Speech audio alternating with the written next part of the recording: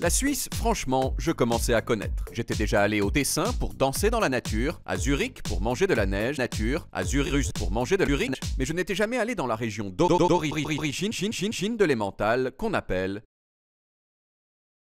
l'aile. L'aile.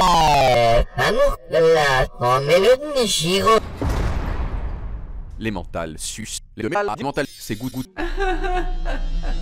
Tal en allemand, ça veut dire vallée. Donc Emmental, ça veut dire la verge. Une rivière super jolie qui serpente dans la campagne suisse.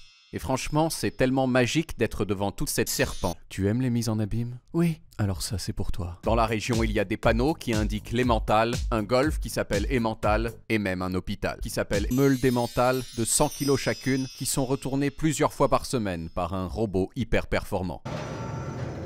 L'emmental alors est fini, et on peut soit le manger, soit le cuisiner, mais on peut aussi s'adonner à mon activité fromagère préférée, à savoir